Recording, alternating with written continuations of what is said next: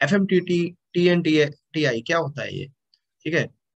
इसका full form होता है farm machinery training and testing institute ठीक है? ये जो होता है, ये आपका ministry of agriculture and farmers welfare के अंतर्गत चला, होता है और जो आपका मिनिस्ट्री एग्रीकल्चर और फार्मर वेलफेयर की मिनिस्ट्री है, उसके अंतर्गत चलता है ये।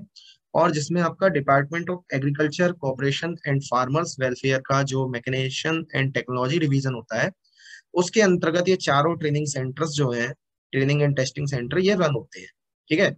जिसमें आपके पहला ट्रेनिंग सेंटर है C F M T T I तो इसका फुल फॉर्म होता है central farm machinery training and testing institute जो आपका बुधनी में है एमपी मध्य प्रदेश स्टेट में पड़ता है। 1955 में बना था। दूसरा है NRFM TTI northern region farm machinery training and testing institute जो हिसार यानी हरियाणा स्टेट में है। और जिसका शिलान्यास उन्नीस में हुआ था। तीसरा S R F M T T I है southern region region farm machinery training and testing institute तो ये गालेडिने में है, जो आपका आंध्र प्रदेश में पड़ता है, ठीक है, जो 1983 में ओपन हुआ था। और चौथा है northern eastern region farm machinery training and testing institute जो विश्वनाथ चेरली में है। जो असम में असम राज्य में पड़ता है और जो 1990 में बना था। यानी सबसे पहले आपका सी एफ़ बुधनी बना था। देन आपका सबसे लास्ट में 1990 में, में जो है N E R F M T T I बना था। ठीक है? जिसमें जो आज हम टेस्टिंग की बात करने जा रहे हैं ट्रैक्टर की वो testing C F M T T I Budhni में होती है। ठीक है? और बाकी ट्रेनिंग सेंटर्स में भी टेस्टिंग होती है लेकिन अलग अलग एग्रीकल्चर मशीनरीज की होती है। ठीक है? अब इसके मैंडेट्स क्या है इस इस इंस्टीट्यूट के? तो सबसे पहला मैंडेट्स इसका रहता, है कि ह्यूमन रिसोर्स को डेवलपमेंट करना फार्म मशीनरी के क्षेत्र में, ठीक है? तो यहाँ पे इस कार्य के लिए क्या होता है कि यहाँ पे ट्रेनिंग्स चलाई जाती है, ठीक है? जो आपकी यू टू टी वन और एकेडमिक यू यू टू होती है यूज़र लेवल मतलब यूज़र लेवल कोर्स होते हैं यूज़र लेवल फ़र्स्ट होते हैं मतलब उनकी कैटेगरीज होती है। दो टाइप के कोर्स होते हैं यूज़र लेवल टेक्नीशियन लेवल ठीक है? और यूज़र लेवल में क्या होता है कि आपको किसानों के लिए और जो मतलब कि वेलफेयर के लिए चलाई जाती है, ताकि इसमें जो होता है किसानों या किसानों के बच्चे जो ट्रेनिंग लेना चाहें और वो ये चाहें कि उनको कुछ स्टाइफेंड भी मिले तो यहाँ पे कुछ स्टाइफेंड का भी गवर्नमेंट की तरफ़ से प्रावधान है, जो अलग अलग नियमों में अलग अलग है। ठीक है? नियम अनुसार है। तो उसके अलावा टी वन के कोर्सेज होते हैं, जिसको टेक्नीशियन लेवल कोर्स बोलते हैं। इसके लिए स्टाइफंड नहीं दिया जाता है, इसके लिए आपको थोड़ी सी स्मॉल फ़ीस पे करनी होती है।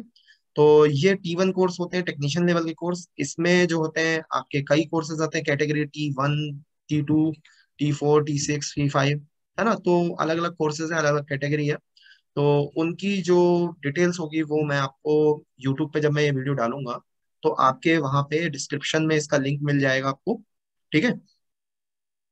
हमारा एक यूट्यूब चैनल भी है, अमित अरोड़ा के नाम से, ठीक है? तो आप अगर चाहें तो बाद में इस वीडियोस को वहाँ से भी देख सकते हैं। आज से जो है हमने ऑप्शन स्टार्ट किया है, ठीक है? तो आप सभी लोग वहाँ से जाकर के देख भी सकते हैं इस वीडियो को रिकॉर्डेड लेक्चर्स हैं ठीक है? देन उसके बाद टेस्टिंग का दूसरा मतलब ये तो हो गया ह्यूमन रिसोर्स डेवलपमेंट के क्षेत्र में काम। और इसके अलावा एक काम और होता है कि आपके अलग अलग एरियाज़ में जा करके ये ट्रेनिंग जो है दी जाती है अलग अलग गाँव में अलग अलग क्षेत्रों में दी जाती है। क्षेत्र वाइज महिलाओं को और किसानों को, ताकि जो है उनका डेवलपमेंट हो सके एग्रीकल्चर मशीन फार्म मशीनरी के क्षेत्र में। ठीक है?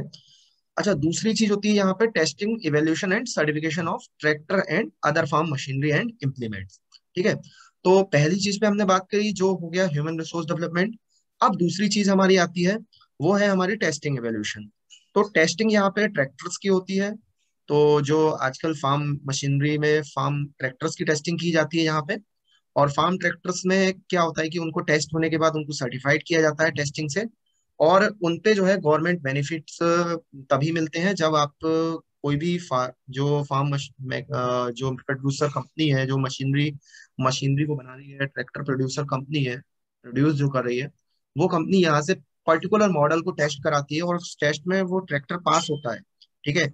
तब जा करके उसको सर्टिफिकेशन मिलता है और वो ट्रैक्टर जो है, आपका गवर्नमेंट के जो सब्सिडी होती है, जब आप ट्रैक्टर लेने जाते हैं, आपने सुना होगा सब्सिडी मिलती है ट्रैक्टर्स में छूट मिलती है, वो छूट यहाँ से टेस्टिंग से वेरीफाई होने के बाद सर्टिफाइड होने के बाद ही आपको मिलती है। इसके दो फ़ायदे होते हैं। पहला फ़ायदा ये होता है कि आपको एक तो गुणवत्ता जो होती है कंपनियों की, वो गुणवत्ता यहाँ से मेंटेन होती है। दूसरा फ़ायदा ये होता है कि किसान को इसमें फ़ायदा होता है, किसान जो है आँख बंद करके मतलब कि पूरे विश्वास के साथ में ट्रैक्टर खरीद सकता है सर्टिफाइड है बुधनी से। इसलिए क्योंकि यहाँ पे जो टेस्ट किए जाते हैं वो काफ़ी अच्छे लेवल पे किए जाते हैं और उनका जो रिज़ल्ट होता है वो भी काफ़ी स्ट्रिक्टली जो है उन्हें नॉर्म्स के अकॉर्डिंग ही पब्लिश किया जाता है, ठीक है? तो पूरी तरीके से ये जो काम होता है सुपरविजन में होता है एग्रीकल्चर इंजीनियर्स एंड एग्रीकल्चर के एस टी होते हैं सीनियर टेक्निकल असिस्टेंट होते हैं टेक्निकल असिस्टेंट होते हैं। इस तरह से पूरा एक टीम होती है जिसके अंडर द सुपरविजन ये वर्क होता है, ठीक है? और काफ़ी सारी मशीनरीज होती हैं जो काफ़ी हाईटेक है, उन सब के द्वारा इसको टेस्ट किया जाता है। उन मशीनरीज की और पर्टिकुलर हर टेस्ट की बात हम आगे के लेक्चर में मतलब इसी लेक्चर में आगे बात करते हैं, ठीक है? अब बात आ जाती है आपकी testing activities and different F F T T S तो यहाँ पे जो है पर्टिकुलर किन किन जहाँ पे क्या क्या टेस्ट होते हैं, चारों जो आपकी एफ़ एम हैं तो सबसे पहले आती है हमारी सी एफ़ एम यानी central farm machine training and testing institute जहाँ पे आपका परफॉर्मेंस टेस्टिंग की जाती है ट्रैक्टर की। सीएमवीआर का सर्टिफिकेशन दिया जाता है। सीएमवीआर होता है सेंट्रल मोटर व्हीकल रूल ठीक है? तो सीएमवीआर सर्टिफिकेशन भी यहाँ से दिया जाता है। सीएमवीआर के बारे में मैं आपको आगे और बताऊँगा। अभी फिर उसके बाद मैं बताता हूँ testing of other agriculture machinery other agriculture machineries की भी टेस्टिंग होती है। Power tiller combine harvester and implements exhaust mass emission test तो इन सब की जो हमारा कंबाइन हार्वेस्टर वगैरह था, इन सब की टेस्टिंग अब एनआरएफएम टीटीआई में होती है। ठीक है? तो यहाँ पे ओनली आपके ट्रैक्टर्स की टेस्टिंग होती है पावर टेलर की टेस्टिंग होती है इंजन का सीएमबीआर टेस्ट होता है, ठीक है? और एग्जॉस्ट मास इमिशन टेस्ट भी यहाँ पे परफॉर्म किया जाता है। ठीक है? ये सब टेस्ट क्या होते हैं? इनके बारे में कैसे पढ़ा जाता है? इन सबको डिटेल में मैं आपको आगे बताता रहूँगा।